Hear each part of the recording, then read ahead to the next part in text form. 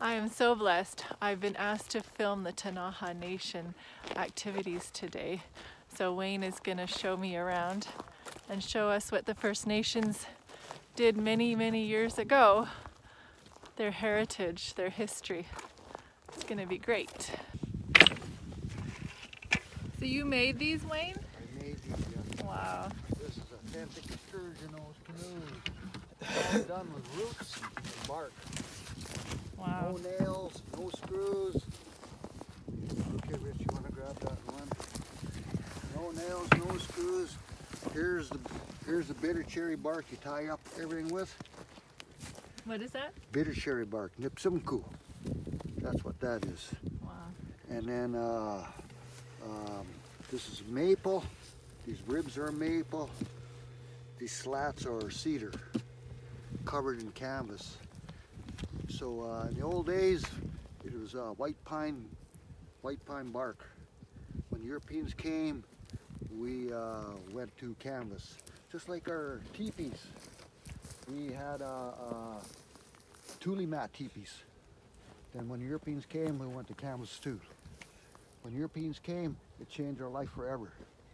For good or bad? Depends on, uh, well, I can speak English. yeah. I'm gonna watch my grandfather and my grandma do all this.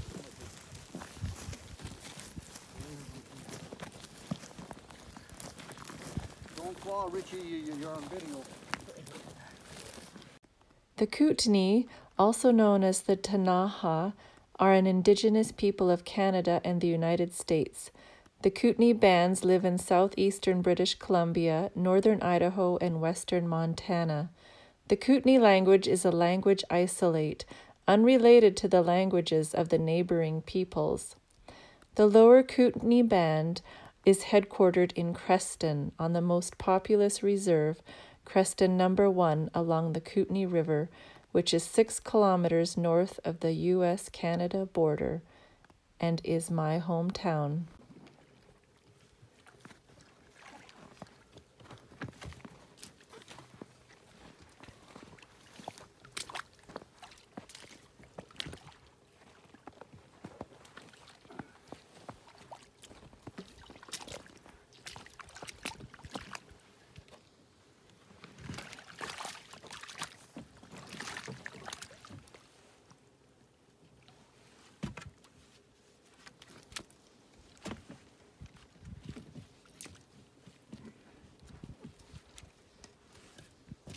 We had a good day today.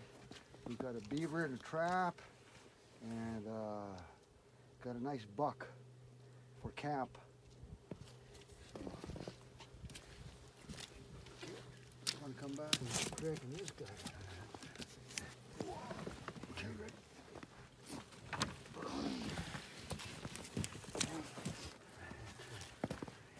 Go like this, Richie. Grab this. Okay.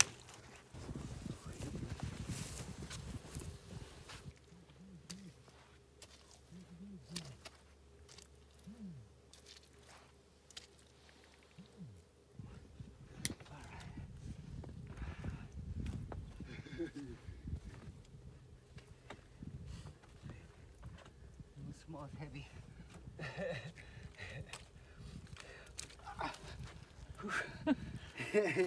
Pretty heavy.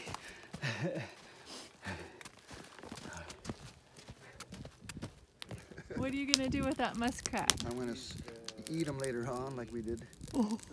and then I'm gonna skin them out and, and put them on a frame, just to show the other uh, First Nations on uh, how to do it. Okay, neat. A- And it's uh, it'll be on history forever.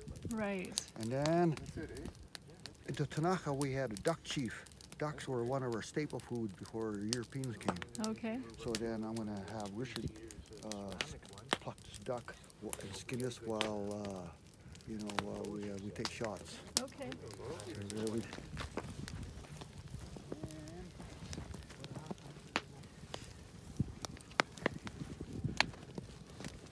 Like this?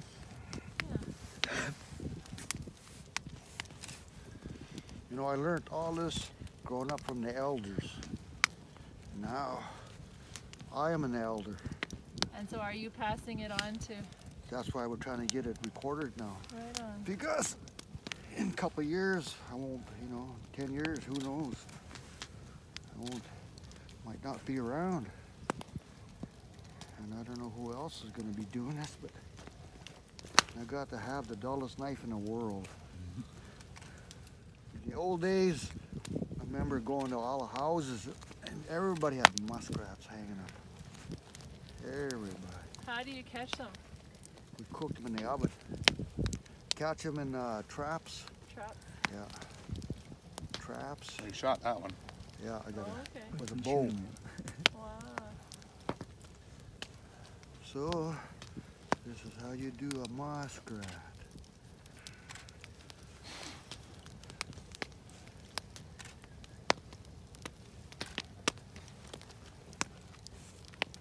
Thank you, Leanne, for doing this for us. Oh, sure. kind of fun for me. Yeah, different, eh? and not too long ago, there was a whole flock of geese that flew in, but I don't know what happened to them. I remember watching my grandma doing this back in the 50s and 60s. So that makes me an elder today. my grandma, Marion Ernest, that's her uh, Christian name. Her Indian name was Ditty. So uh, her Catholic name was Marion Ernest. She's the one that taught me this. She passed away in the 60s. She couldn't speak English, just Ktunaxa. So, Was she born and raised here? Yeah, she was born and raised here, and then she lived in Arrow Lakes for a while, Oh, yeah. and then she came back. And her, and her husband was uh, Louis Ernest. That was his Christian name, Catholic name. And uh, he was the last blanket medicine man of the Lower Kootenays. And he passed away in the, in the 60s, early 60s. When I was a young, young boy. And everything I'm doing from canoes to trapping to hunting to hide canning, I learned from the elders. So that is true what they say. You learn from the elders. That's for sure. Yes. So this is how you skin a muskrat out. Now most of the all the elders are gone now. It's a new generation. I'm a I'm a, probably the last one of the last of the baby boomers. Oh. And then we got uh, seventh generation people coming up, and after that, the millennials. So, hopefully, with all this recording stuff, it'll carry on the culture so it doesn't die, it doesn't become extinct. Lots of stuff's going to become extinct, like our language is going to become extinct one day. So it's very important we record all this. Do you speak the language? Yeah, I speak not fluently, but I speak Ktunaxa. Wow. Okay, this is your muskrat right here. And this is the hide. And I got a stretcher somewhere. I gotta go find it. So that's it. And this is how you made your money. This is how you made your money. You sold your hides. You sold your hides to Hudson Bay, and that's how the people made their money. So this provided clothing for you, pro- provided uh, money for you so you can purchase your flour and etc. And then this is uh, for food. For your food, and this was um, one of the main staple foods for the Ktunaxa, especially for Lower Kootenay. Because down here, before all this land became reclaimed and all the dams were put in, it used to be one big marsh. Oh. And there was millions of muskrats in the old days, right from Kootenay Lake right to Bonner's Ferry. Huh. Then the dams got put in, and all the land got reclaimed. Now it's all gone. So we're trying to keep the culture alive. Uh, this is nice, nice hides. It takes about 50 of these to make a jacket. I was gonna ask what they Yeah, nice. Do you know how to sew them? And Well, what they do is, is they cut the back off this. yeah, They just, not this front part, the back part. And then they sew all these together. Yeah. 15 to make a jacket. You do the same thing with mink, weasel, lynx, all that. That's what you use. So that's just a little bit of culture. So much culture to talk about. It took me a lifetime to learn what I what I know. And then my friend here, Joel, he's plucking a duck, a mallard. And again, I always say in the old days, there was millions of ducks before all this marshland became farmland. And uh, ducks were another staple food for the Ktunaxa, especially for my band, the Lower Kootenays. And uh, we used to have a duck chief in our society. We got a duck chief, we got a deer chief, and we got a fish chief. And um, in the old days, all the houses, we had hunters, we had canoes, we had sweat lodges, we had trappers, we had hunters, and, and now it's all, we're starting to lose all that. So just a little bit of uh, history about ducks. And again, like I said, there's millions and millions of ducks. Wow. And it's well recorded, it's well documented in some of the uh, Europeans' history, settlers when they moved in here, back at the turn of the century. Yeah. So Wow. the ducks were meant more to us than geese. They mean more to me than geese. Yeah, Yeah. I prefer a duck over a goose any day. that's right. Or three ducks over a goose. Then, after he plucks that, I'll show you how we burn the pin feathers off. Prepared for the pot. Again, you put it over the fire, and you scrape all the pin feathers off. These are all the pin feathers right here, like this. Joel, you're doing a good job. I won't have to burn it off. yeah, there's a bit left. I was thinking I didn't bring my torch, but uh, we guess we don't need a torch, do we? When did you catch this one? I got that um, two days ago. Okay. So it's still okay. Still okay. It's cold out, Yeah. and this is what a winter camp would look like back in the old days. You got your sustenance right here. You got your uh, ducks. You got your hunko. That means uh, uh, muskrat. And just behind me, you got a cinna, beaver. We'll get into that later on. And then we'll get into the good stuff with the sturgeon nose canoes. That's a Wea Akpun Yaksumin. That's means sturgeon nose canoes. So we'll do a little bit of that. Okay. Yeah, the, uh, the sturgeon nose canoes, the Wea Akpun Yaksumas were our cars. We didn't have no cars in the old days. The rivers behind us. That's where our highways. The Kootenai River was our highways. We traveled the rivers, the lakes in our sturgeon nose canoes. So uh, the, the canoes were our vehicles. That's where we traveled to meet uh, other band members throughout our territory.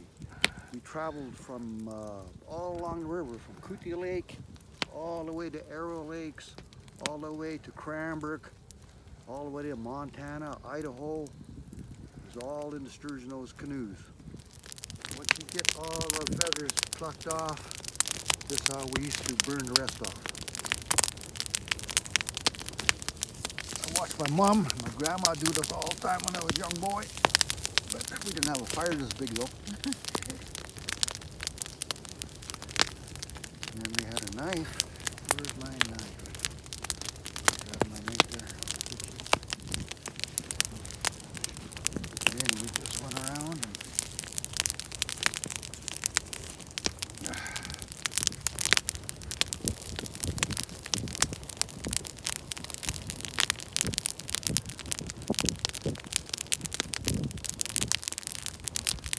Fire's a little hot, but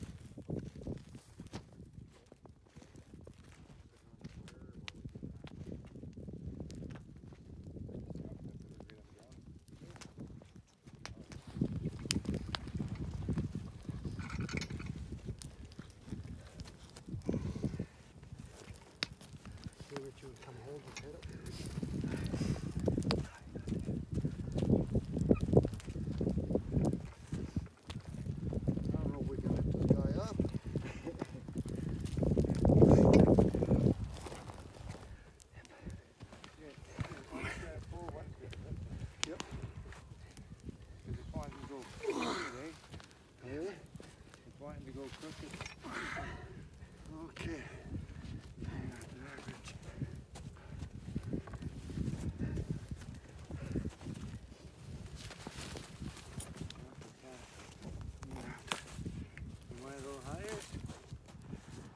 The Ktunaxa people are known as a peaceful nation, so I thought how perfect to end this movie by standing by their church. So until my next epic adventure, assalamu alaikum, shalom, peace.